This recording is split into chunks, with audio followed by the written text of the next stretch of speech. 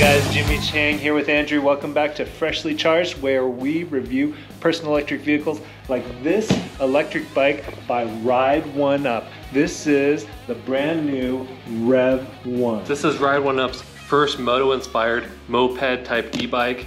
It's their first 52 volt e-bike and their first bike with a bigger display. In this video, we are going to unbox it, set it up, take it for a test spin, and tell you guys what we think of this bike. Sweet looking tire on that. Wow, look at this. It's a nice packaging job. Look at this tire. Yeah, we've Woo. never seen this tire tread on an e-bike we've reviewed. That is beefy. And this is the Revv 1 full suspension version. They do have a hardtail version. So we just tear open one side and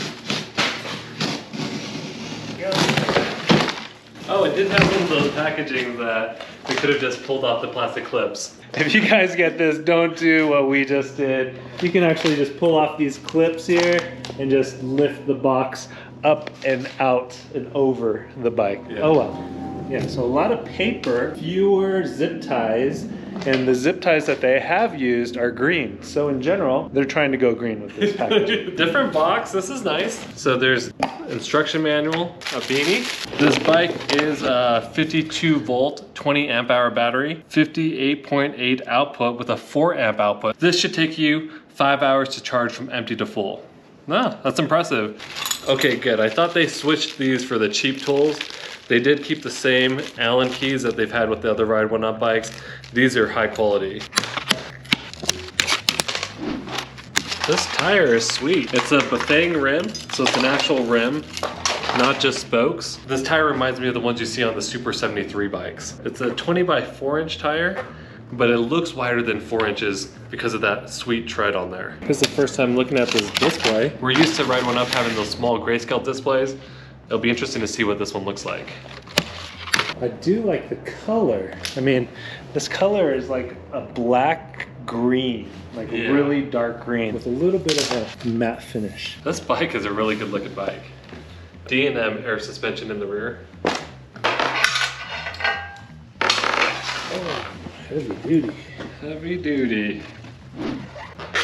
The more we put this together, the more this looks like some of the Super 73 e-bikes that are out there. Kind of that moto style e-bike. Really good looking bike. So are we done? I think so. This is probably the easiest bike we've had from Ride One Up to assemble. Usually bikes from Ride One Up, there are a lot of different parts that you have to put together. Not so with this one. Okay, I lied. We still have to put on this fender. So one more fender to put on. And we've got the fender on. And now we're cooking with electricity. It is already freshly charged. Okay. That's a good looking display. And it's already on pedal assist 5, so it must have some sort of memory. Yeah. That's a good thing. We love e-bikes with memory. Okay, we've got it all set up. It's all charged. It's ready to go. Now we're going to do a walkthrough from top to bottom so you guys can know all about the Revv 1 from Ride 1 Up. This frame reminds me of a motorcycle more than anything. Twist throttle on the right. So it is a single speed. Ride one up. One of the few companies that allows you to use the throttle and pedal assist zero. Horn, turn signals.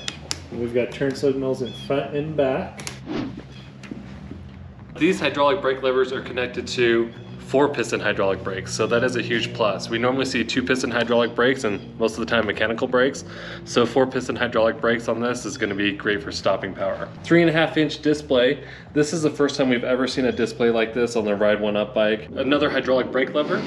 And these are really cool because you can see the amount of mineral oil inside of them. So there's a little window to look at the mineral oil. 120 millimeter air suspension in the front, metal fender, big and beefy light, 20 by 4 inch street tires that have some knobbies on them. I do love these Bafang alloy rims. 180 millimeter brake disc with four piston hydraulic brakes. We have the battery stored up top.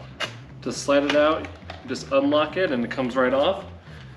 52 volt, 20 amp hour battery, 1040 watt hours. Inside this Bafang alloy rim is a 750 watt motor sustained with 90 newton meters of torque. DNM air suspension, This is sweet. This is one of the higher quality air suspensions we've seen on a full suspension e-bike in this type of genre. Really cool cutouts. You see that Ride One Up logo? Comfy seat. This seat is really nice. Is these these are always on, right? Mm -hmm. Looks like they're always on, whether you turn on the light or not. And then let's see what happens when you brake. So it does get brighter. We are now going to get our safety gear on so we can take it for a test All right, got the safety gear on and we have the Revv 1 out on the trail.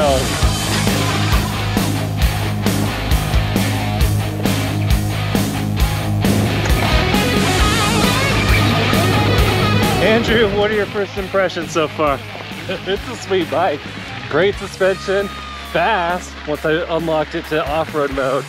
But overall, a really sweet bike. As the usual, we're gonna ride it around, we're gonna take breaks, and when we take our breaks, we're gonna tell you guys what we love about this bike, what we hate about it, and who we think should get it.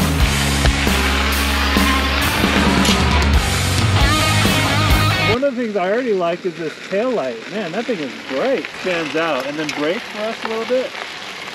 Yeah, so you can see that. Shows the, the turn signals in the bright light. Impressive. Let's see the signals in the front. Yeah, that's, that's really admirable. So it has been really wet this season. I don't know about you guys, but this winter has been cold and snowy. And because of that, the trails that we normally ride, they are wet. And so we try to avoid them as much as possible so we don't damage them. But sometimes you can't just help but go on some of these wet trails. And there are advantages of having a bike like this. These fat tires rock. We're used to the knobby fat tires. This is more of a hybrid fat tire.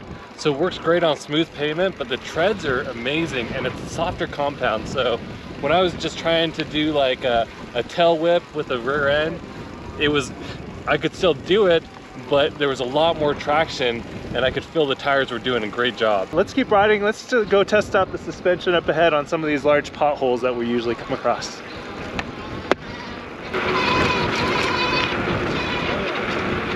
Like that pothole right there on a lot of these moped style e-bikes, they bottom out all the time. You hear crunch, crink, crunch. This one, as you can hear, is near quiet. The suspension on this is amazing the front suspension and the front suspension has 120 millimeters of travel and the rear suspension is an air suspension which works excellent. It's a big one. and potholes never look as big in camera as they do in real life. These are some big potholes that we're coming across. And yeah, just from me watching you, you are just soaking those up on the bike. And the bike is not making the normal clinks and clanks and chunks and clunks like it, like some of the other bikes do when we go over those potholes. More inferior suspension, such as the coil suspensions, you're, they're gonna bottom out. You're gonna, it's gonna be more noisy. This, however, is uh, a superior suspension. Why don't we pull up ahead and let's talk about the things that we like about this bike. The overall construction of this bike is really nice a lot of these batteries, they're sitting on a plastic slide kit, and so they're exposed. This has metal tubular framing around all of it and a bottom piece underneath it, so you'll never have to worry about the battery falling out of place when you're riding. Metal fenders are amazing. A lot of these e-moped style e-bikes, the fenders are so big, so a lot of the companies cheap out and use plastic components on there. The four piston hydraulic brakes are great for stopping power Woo! Those are great. The brakes work well, but my favorite part is how soft and grippy the tires are. The tires are my favorite I've seen on an e-moped style e-bike. And then there's air suspension in the rear. And they say there's air suspension in the front, but I can't see uh, air input.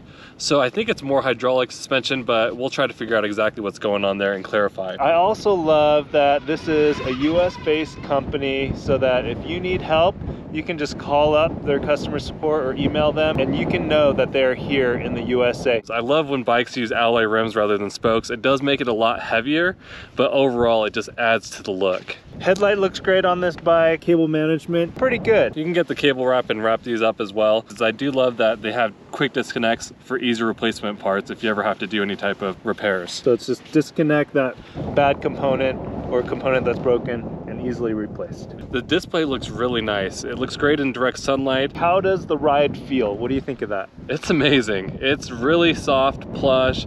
It feels great that I can lock it out if I want to do a speed run or I can leave it soft and plush when I'm on trails that are bumpy and have potholes. And then I do love that you can unlock this into off-road mode. The best part about this bike is that I don't have to pedal to get it to 28 miles per hour plus. I can use the throttle and I've got, with throttle only, I've hit 31 miles per hour and I'm sure I could go faster on the straightaway. All right, we're gonna do a quick speed run here, see how fast this thing accelerates. So let's go ahead and let this rip.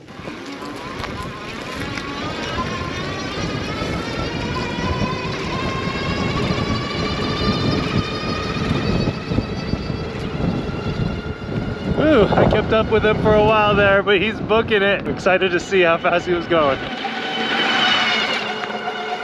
So the speedometer said max 36.7 miles per hour, and that's what the display shows. It says max speed 36, so pretty accurate. Wow. Usually the speedometer on these devices tend to overestimate how fast you're going. This case, it's spot on. For a single 750 watt rated motor, that's impressive. To go 36 miles an hour, but you also have to count, it's not just this motor. It was this motor that was going. he was pedaling hard. All right, let's go to our next stop and let's talk about the things that we don't like about this bike. All right, Andrew, Andrew, you look like you're having way too much fun. We got to switch. I need to, I need to ride this thing a little bit. Let me give you the electric unicycle. This thing looks pretty darn fun. Now it's my turn. I love it. The motor and pedal assist 5 is darn peppy. I mean, you pedal a little bit and boom, you're taking off. This thing combines the practicality of a bicycle and just the fun of kind of a moped motorcycle. So this, this thing is a joy. And I'm riding here on this trail. It's bumpy, it's rutted out, but this, the suspension is pretty darn amazing. I mean, if I had my choice, I definitely would pick the dual suspension. This thing is great.